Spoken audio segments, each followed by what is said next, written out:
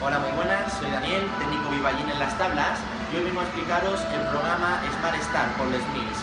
¿En qué consiste?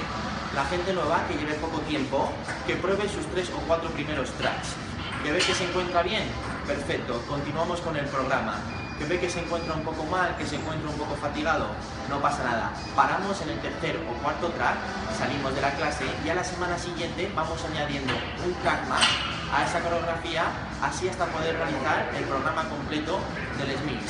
Si tienes cualquier duda, consulta con nuestros técnicos aquí en Vivallín. Un saludo fuerte y nos vemos en Vivallín Las Tablas.